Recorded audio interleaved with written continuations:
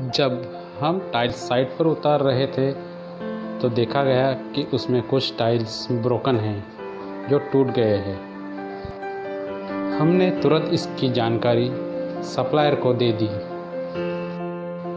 Supplier ने तुरंत दूसरे दिन ही अपना एक रिप्रेजेंटेटिव साइट पर भेज दिया टाइल्स की जाँच करने के लिए। हमारे टाइल्स के छः बॉक्स टूट चुके थे जो हमने उनके प्रतिनिधि को दिखाए। उस प्रतिनिधि ने टूटे हुए टाइल्स के सभी फ़ोटो निकालकर सप्लायर को सेंड कर दिए। टूटे हुए टाइल्स का निरीक्षण करके सप्लायर की तरफ़ से कुछ प्रस्ताव रखे जाते हैं। जैसे कि कोई टाइल्स अगर पूरी तरह टूट चुके हैं तो उसके बदले नया टाइल्स दिया जाता है।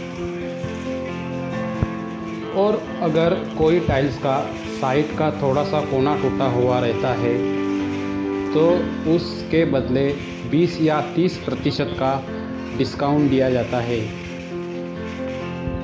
क्योंकि छोटा कोना टूटा हुआ टाइल्स हम एडजस्ट करके कहीं पर भी लगा सकते हैं। और अगर छोटा कोना टूटा हुआ टाइल्स भी हम एक्सेप्ट नहीं करते तो उसके बदले नया टाइल्स दिया जाता है।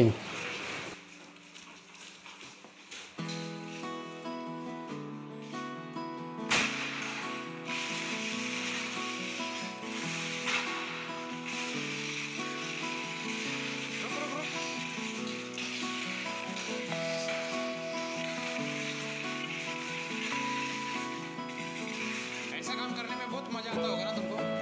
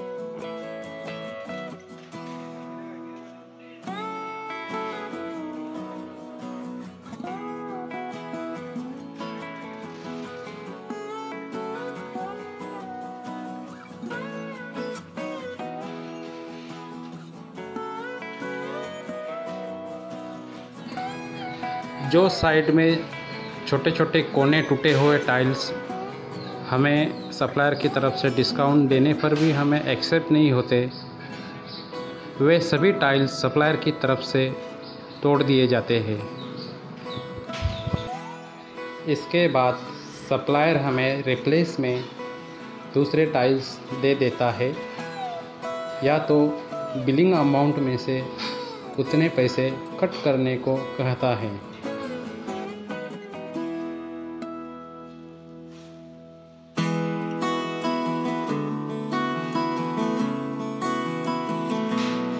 मेरे ख्याल से जिन टाइल्स का छोटा छोटा कोना टूटा हुआ है, वह अगर कहीं एडजस्ट होता है तो उसे 20 पच्चीस या 30 टका डिस्काउंट में ले लेना चाहिए।